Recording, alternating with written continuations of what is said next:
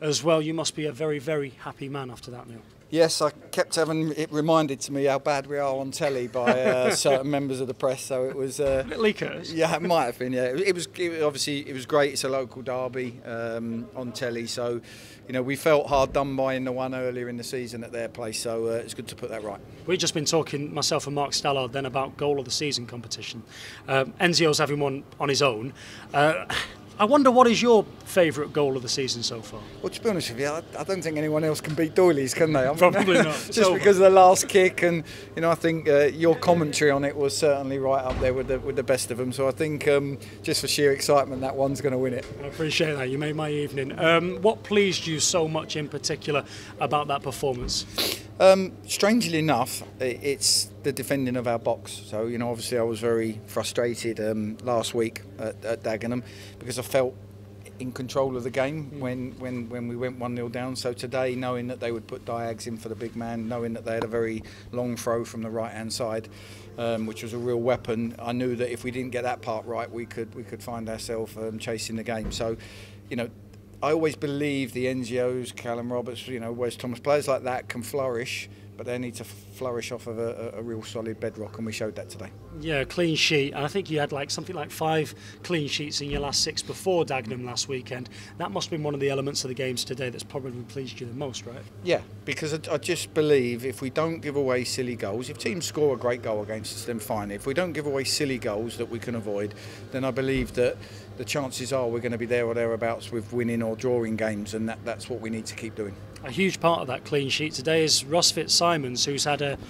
an interesting two or three weeks, to, to say the least. Um, how impressed were you by that this afternoon? That was great. Ross come to see me on Thursday. We had a chat, and you know, like I said, you you, you, you have to earn the right to be in the team. You know, I don't make promises to anybody. And and Ross has, has come in today. I thought with with what had gone on with him being at Chesterfield, I thought he didn't need any motivation anyway um, to perform well, and, and he did. Great penalty save, although it wasn't a, a very good penalty, but great penalty save, and, and he's made one or two others. Yeah, brilliant save up to his top corner as well. Was there ever any any doubt that he'd come in and do a professional job for you today?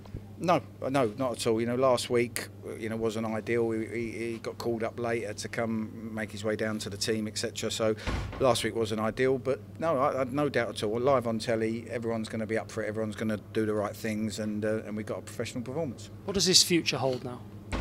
I've no idea. Uh, As far as I'm concerned, we turn up Monday and we go to work. So, um, you know, we're looking as a board and, and staff as to whether in the running that's a position now we need to strengthen. Uh, when I say strengthen, it would be, you know, bring somebody in and have competition.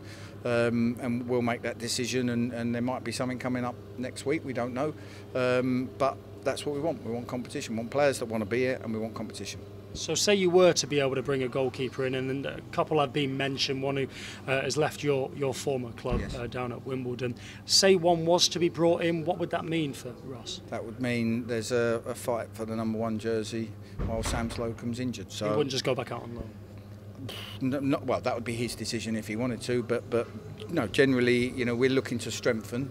But like I say, we want, you know, if if if if we do strengthen and Ross wants to be here and fight for the jersey, great. If he doesn't, then we will make a decision based on that. Back to the good stuff. Uh, Kyle Wootton with a couple of goals out there today. His first since he signed that permanent contract, which is a complete irrelevance, and yet it gets talked about. And so, give me your thoughts on that. Yeah, it, it can happen. I thought Kyle handled the scrutiny of what he was going through as far as you know whether we could get the deal done, whether he was going to join us in the first place. He carried on playing well and scoring goals. And normally, from my experience as a player, that's a part when your head can go a little bit because you don't know, you're uncertain of your future. So once he committed um, to then go through a little bit of a, a spell of, of barren, it can happen. But um, you know, you keep getting yourself in the right positions, then then um, things are going to happen. And like they said, the- I think probably the best goal really in many ways for him is the third goal where he's, he's, he's showed a striker's instinct to follow up because if he adds them to his, his game he'll get 20 goals. How did you rate Jim O'Brien's performance? Yeah, really good. Um, you know, he's calm. He, he, he understands football. He wants the ball. He, he'll. I think the difference with Jim to a lot of players, he'll try things in, in sometimes in areas that give me a heart attack. But he he um, he tries things, and, and you know he'll try a reverse pass. He'll try things. He's got that sort of think, vision about him. I just said don't over try. You know, don't force it. Do it in the right times and the right areas. But no, it's great. You know.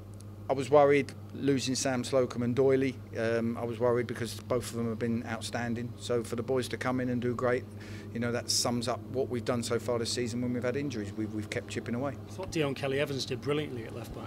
Yeah, absolutely. We we'll need a little bit of work on his left foot, but um, no, he's he, he done great. Dion's a bundle of energy sometimes it's not bundles of difference between left back, right back. I've played them both myself, and um, you know it's just that you naturally come inside. But but with Enzio out there, with the wingers we've got and the problems they cause, and they like to play inside anyway it, it wasn't a problem. What's going to happen with those other injuries now? Have we got any clearer idea about how long Slocombe will be out for? Um, Sam, we feel that you know he's, he's looking like a six to eight week job. It's a grade two. It's not not great news. You know Ben Turner, we're hoping to get him on the grass and into really good work next week. Um, Regan's a bit slower. He needs probably an injection to try and settle things down to to move on. Um, and obviously Doyley, with a bit of luck, he's only going to miss one more league game, mm. um, so so we can get him back in it. And um, like I say, we need to go into that. If we can get everyone back going into the last ten games of the season, and we have a full squad, and I've got problems selecting the team, then it's great. McCrory and Zemana Bakayoko, they'll be okay. I, would like to think they'll both be back next week. And so the FA Trophy game next week at Yeovil does count as one of Michael Doyle's suspended games. Yes, yes, it does. Yeah, absolutely. Are you excited about the running now? Yeah, I think I was looking at the results today. You know, one thing I, I know from my experience of run-ins is that the the last 10 games you know it becomes real you know you chip away and you get through them winter months and you get to them last 10 games and it becomes real it, it's there you can taste it and and that's when the pressure really mounts people talk about it a lot more so we've got experience we've got players who've been promoted um, I'm going to certainly stay relaxed about it. And if we can keep that nice feel about it, then who knows what we can achieve. Appreciate your time. Well done today. Thank Phil you. Thank you very you. much. Neal, can I talk to you about uh, Callum Roberts' performance today? Um, for a play, young player making his debut at Meadow Lane, he had an excellent game, didn't he? Yeah, I think. Um, I think you can see the way he moves, everything we saw in him. You know, his his first touch is wonderful. He's got that low centre of gravity, that change of direction. He's got pace, um, and and he can go either way. And I, you know, he's lovely to watch. I was going to say he's also very mature for such a young age, isn't he? I mean, just doesn't seem to let anything phase him. Well, I think when you probably when you've played at St James's Park, I think uh, Meadow Lanes. yeah, they're, the they're, park, they're both uh, black and white, but um, I think Meadow Lanes, um, although it's it's got an intimidation to it, I think it's probably not quite St James's Park. But the, I mean, because for some young players, they sometimes look a bit erratic at times, but he showed lovely control and awareness at. I think if you know he, understands the game. One thing we saw when we, we looked at him and we scouted him was he doesn't try and do things at the wrong time, and that's a key. You know, wingers are quite fizzy, aren't they? As we know, they can fit in and out of games. They try things when it's not on, but we want them to try things when it's not on. Um, but with Callum, he has got that head on his shoulders where he sees that right, I won't force it. I'll come out. We'll recycle. We'll play again. He can see that. He picks up some lovely little areas, and we knew that the way we like to play our wingers would suit him. You know, and we've got that Enzio and him can both go on the outside and cross, and they can come inside and score. And um, hopefully that will help us uh, in the running. How pleasing is that as a manager to have threat like that on both flanks? Yeah, absolutely. Because you know, in, to be fair to, to Shieldsy and, and Ozzy, you know, they've done great when they've been in a team and they've got slightly different qualities. Um, but but they're two players who every time they've come in have done really really well. So it's hard. It's hard for me because I've got good lads who work work really really hard and sometimes you have to leave them out um, to pick the team. But that's what we want competition the running. Um, fabulous performance overall. What was the most pleasing aspect for you? Um, I, think probably the, the sort of clean sheet, defending the long throws into the box, the diagonals onto Denton.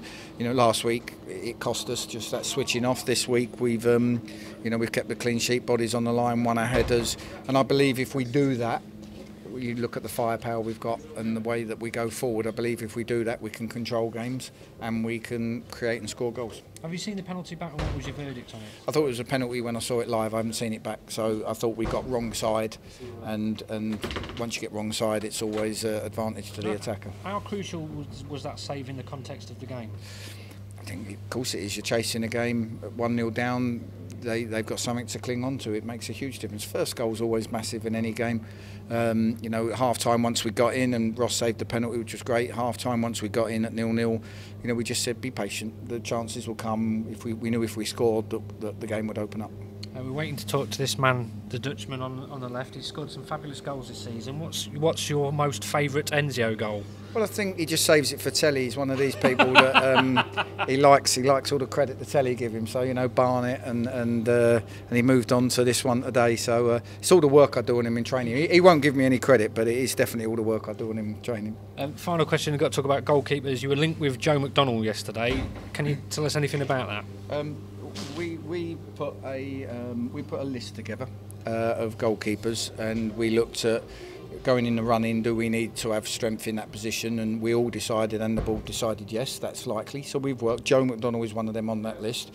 Um, we've gone through what we think the best option would be. Um, so I'm not going to rule him out, um, but we, it's something we might look to do next week. Um, we need competition and we need strength.